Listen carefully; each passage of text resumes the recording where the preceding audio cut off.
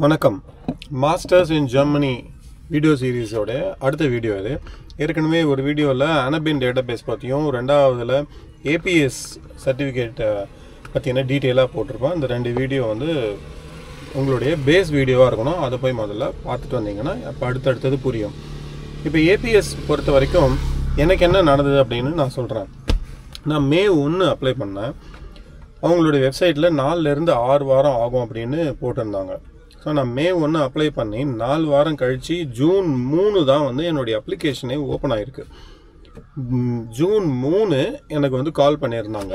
இந்த மாதிரி உங்களுடைய டிகிரி சர்டிஃபிகேட் வெரிஃபிகேஷனுக்கு உங்களுடைய யூனிவர்சிட்டிக்கு அனுப்பியிருக்கோம். நீங்கள் உங்களுடைய யூனிவர்சிட்டியை ஃபாலோ பண்ணி அந்த மெயிலுக்கு எவ்வளோ சீக்கிரம் முடியுமோ அவ்வளோ சீக்கிரம் வந்து ரிப்ளை அனுப்ப சொல்லுங்கள் அப்படின்னு சொல்லி என்கிட்ட கேட்டிருந்தாங்க. என்கிட்ட ஃபோன் பண்ணி சொன்னாங்க. ஸோ இப்போ நீங்கள் என்ன ரெடியாக இருக்கணும் அப்படின்னா முதல்ல உங்களுடைய ஃபோன் நம்பருக்கு கால் வரும். ஸோ நீங்கள் கரெக்டான நம்பர் கொடுங்க. அந்த நம்பரில் ரீச்சபிளாக இருங்க. அந்த நம்பர் வந்து plus nine one one one நினைக்கிறேன். டெல்லி. டெல்லியிலேருந்து வரும். அந்த நம்பருக்கு திருப்பி நம்மளால் ஃபோன் பண்ணி பேச முடியாது. அது வந்து அவுட் கோயிங் மட்டும்தான். இன்கமிங் அந் இன்கமிங் அந்த நம்பருக்கு வராது நான் வந்து ட்ரை பண்ணி பார்த்தேன். ஸோ முதல்ல அந்த நீங்கள் ஃபோன் நம்பர் கரெக்டாக கொடுக்கணும். உங்கள் ஃபோன் ரீச்சபிளாக இருக்கணும். நீங்கள் அப்ளை பண்ணதுலேருந்து உங்கள் ஃபோனுக்கு ஏதாவது கால் வந்தது அப்படின்னா நீங்கள் ரெடியாக இருங்க. அட்டன் பண்ணிவிடுங்க உடனே. மிஸ் பண்ணிடாதீங்க. அது மிஸ் ஆச்சுன்னா திருப்பி உங்களால் பண்ண முடியாது. ஸோ இது முதல் விஷயம். இப்போ எனக்கு வந்து உங்கள் டிகிரி சர்டிஃபிகேட் எல்லாம் உங்களுடைய யூனிவர்சிட்டிக்கு அனுப்பியிருக்கோம். நீங்கள் வெரிஃபை பண்ணுங்கள் அப்படின்னு சொல்லிட்டாங்க. ஏற்கனவே ஏபிஎஸ்ஸோடைய ஃபீஸ் பார்த்தோன்னா பதினெட்டாயிரம் ரூபா கட்டியிருப்பீங்க. இந்த வெரிஃபிகேஷனுக்கு உங்களுடைய யூனிவர்சிட்டியை அடிஷ்னலாக வாங்குறாங்க அப்படின்னா அதை நீங்கள் தான் கட்டியாகணும். என்னோட இதில் என்ன ஆச்சு அப்படின்னா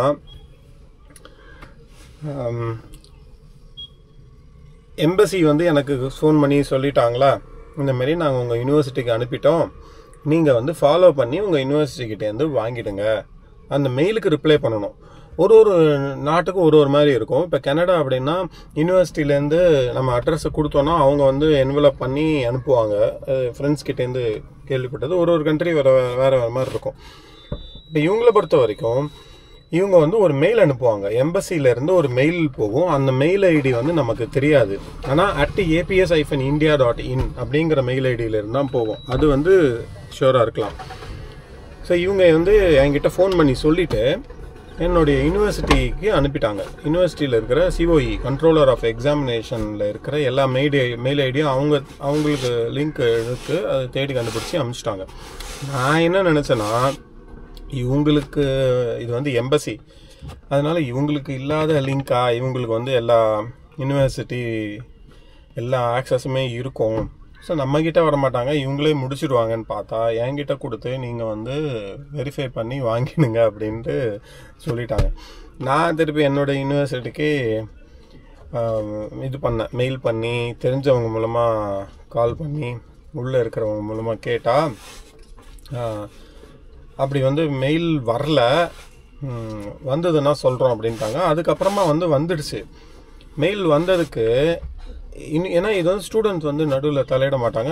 ஸ்டூடெண்ட்ஸை தலையிட விட மாட்டாங்க. ஏன்னா ஃபேக்கு நிறையா நடக்கும் அப்படின்னு.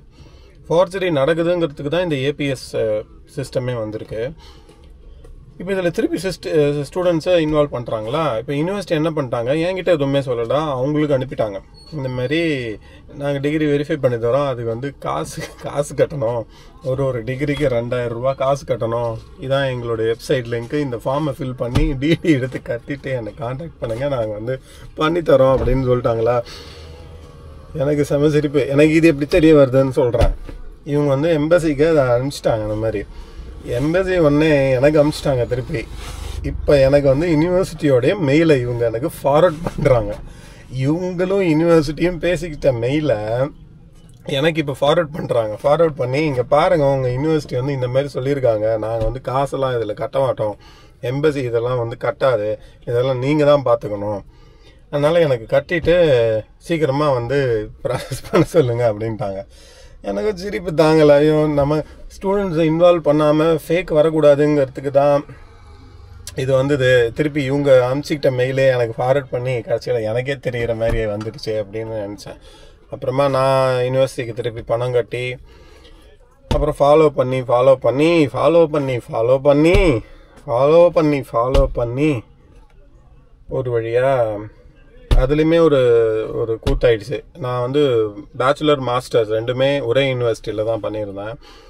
பேச்சுலருக்கு வந்து இவங்க அனுப்பிட்டாங்க. இந்த மாதிரி வெரிஃபை பண்ணிட்டோம் அப்படின்னு. நான் மாஸ்டர்ஸ் வந்து டிஸ்டன்ஸில் எஜுகேஷனில் பண்ணியிருந்தேன்.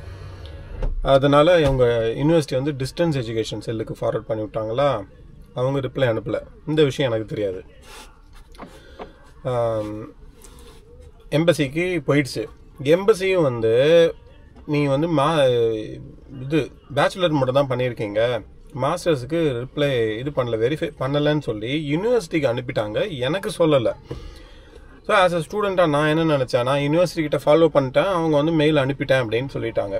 சரி மெயில் அனுப்பிச்சிட்டாங்கன்னா எல்லாமே தானே அனுப்பிச்சிட்டாங்க அப்படின்னு நான் நினச்சிட்டேன். ஆனால் அது அப்படி இல்லை அப்படின்னு அப்புறம் தான் புரிஞ்சுது.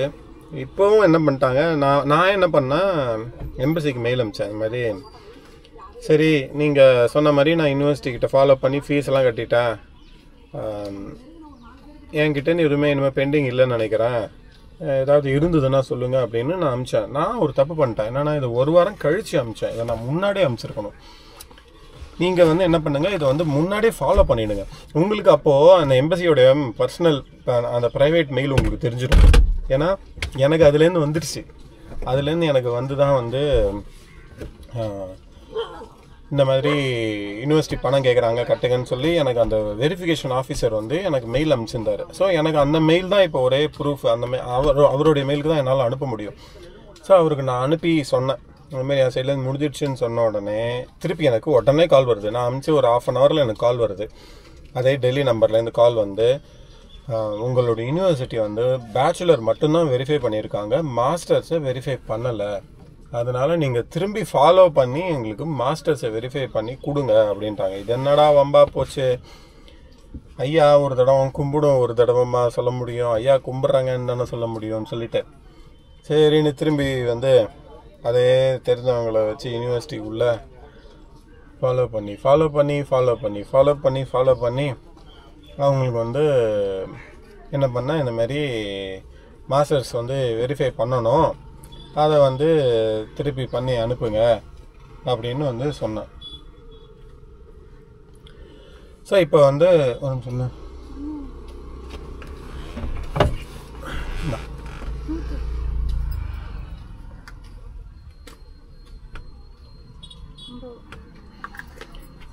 ஸோ என்ன இதில் இப்போது தெரிஞ்சுக்கிறோம்? இல்லைன்னா என்ன நீங்கள் பண்ணணும் அப்படின்னா முதல் விஷயம் உங்களுடைய ஃபோன் நம்பர் நீங்கள் வந்து அதை எப்போவுமே ரெடியாக வச்சுக்கணும். அதுக்கு ஃபோன் வந்ததுன்னா நீங்கள் வந்து அட்டன் பண்ணணும்.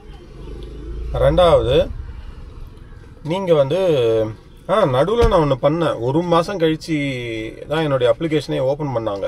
நான் மே ஒன்று கொடுத்து ஜூன் மூணு தான் ஓப்பன் பண்ணாங்க. நடுவில் ஒரு தடவை அவங்க வெப்சைட்டில் போய் இந்த மாதிரி நாலு வாரம் ஆச்சு சார். இன்னும் எனக்கு வந்து வரல ஏபிஎஸ் சர்டிஃபிகேட்னு கேட்டதுக்கு ஒரு ஆட்டோமேட்டட் மெயில் வருது. எங்ககிட்ட வால்யூம் அதிகமாக அதிகமாக இருக்கிறதுனால என்ன எங்களால் இப்போ ப்ராசஸ் எங்களால் உங்களுக்கு தனியாக பதில் அனுப்ப முடியாது. ஒரு டெம்ப்ளேட்டட் மெயில் அது. அதனால் இது சம்மந்தமாக கேட்காதீங்க அப்படின்னு சொல்லி வந்துடுச்சு. அந்த அவங்க ஒரு மெயில் கொடுத்துருந்தாங்க. அங்கே ஒரு நம்பர் கொடுத்தாங்க. அந்த நம்பருக்கு கால் பண்ணி கேளுங்க. அந்த நம்பருக்கு போனால் ஆட்டோமேட்டடு இந்த மாதிரி இது சம்மந்தமான இதெல்லாம் நீங்கள் மெயில் அனுப்பணும் அப்படின்னு. மெயிலுக்கு அனுப்பினா டெம்ப்ளேட்டடாக வருது. இந்த மாதிரி வால்யூம் நிறையா இருக்குது அதனால் எங்களால் பதில் சொல்ல முடியாது அப்படின்னு வந்துடுச்சு ஸோ இந்த கதையிலேருந்து என்ன தெரிஞ்சு கொள்ளலாம்? ஒன்று நீங்கள் ஃபோனை வந்து ஃபோன் நம்பர் கரெக்டாக கொடுங்க. ஃபோனை வந்து ரெடியாக வச்சுட்டே இருங்க. எப்போ கால் வந்தாலும் அதை அட்டன் பண்ணுங்கள் உங்களால் வேறு ஆப்ஷனே கிடையாது. உங்களுக்கு வேறு ஆப்ஷனே கிடையாது. ஏன்னா எந்த மெயிலை வச்சும் அவங்கள ரீச்சே பண்ண முடியாது. எந்த ஃபோன் நம்பரை வச்சும் நீங்கள் ரீச்சே பண்ண முடியாது. அவங்களா உங்- தான் உங்களுக்கு கால் பண்ணணும். உங்களுக்கு லக் இருக்கணும். உங்களுக்கு லக்கு வச்சு நீங்கள் அவங்க உங்களுக்கு கால் பண்ணி நீங்கள் திரும்பி பேசணும். அந்த டைம் நீங்கள் எடுத்து பேசணும். எனக்கு கிடைச்ச மாதிரி அந்த மெயில் ஐடி உங்களுக்கு ஏதாவது உங்களுக்கும் இதேமாரி பணம் கட்ட சொன்னாங்கன்னா யூனிவர்சிட்டி பணம் கட்ட சொன்னாங்க அப்படின்னா உங்களுக்கு அவங்க ரீச் பண்ணுவாங்க மெயிலில் ஸோ மெயிலை செக் பண்ணிகிட்டே இருக்கணும். அந்த மெயில் கிடச்சிடுச்சு அப்படின்னா உங்களுடைய மெயில் ஐடி வந்துடுச்சு அப்படின்னா அந்த மெயிலுக்கு நீங்கள் ஒரு தடவை ஃபாலோ பண்ணி எல்லாமே ஓகேவா அப்படின்னு நீங்கள் கேட்டுக்கணும்.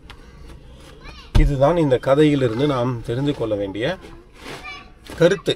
சரி இப்போ என்னுடைய சைடில் என்ன ஆச்சு? எல்லா வெரிஃபிகேஷனும் முடிஞ்சு மெயில் அனுப்பிச்சிட்டாங்க இன்றைக்கி தான் இன்னும் எவ்வளோ நாள் ஆகும்னு தெரியல இவங்க ஓப்பன் பண்ணுறதுக்கு இப்போ இவங்க வெரிஃபை பண்ணி அனுப்பிச்சிட்டாங்கன்னா நான் உங்களுக்கு அனுப்பிச்சிட்டேன் இந்தமாரி யூனிவர்சிட்டி எல்லாம் வெரிஃபை பண்ணி அனுப்பிச்சிடுச்சு என் சைடில் வரணும் இல்லை இல்லைன்னு நினைக்கிறேன். இருந்ததுன்னா சொல்லுங்கள் அப்படின்னு திரும்பி நான் அனுப்பிச்சிட்டேன் எல்லாம் ஓகேனா இவங்க எவ்வளோ நாளில் திரும்பி இது கேஸ் ஓப்பன் பண்ணி திரும்பி அப்டேட் பண்ணி எனக்கு வரும் அப்படின்னு தெரியல.